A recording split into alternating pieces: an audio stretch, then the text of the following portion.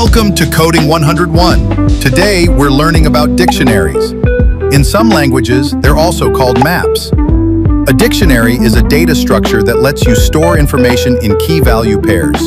Think of it like a real dictionary. You look up a word, that's the key, and get its definition. That's the value. In code, it works the same way.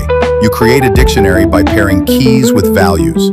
For example, you might store a person's name with their age. This lets you find information quickly by using the key. You don't have to remember the position in a list, you just look it up directly. Dictionaries are great for storing related pieces of data, like settings, user profiles, or counts of things. They're simple, powerful, and a big part of writing clear, flexible programs. Understanding dictionaries helps you organize your data in a way that's fast and easy to search.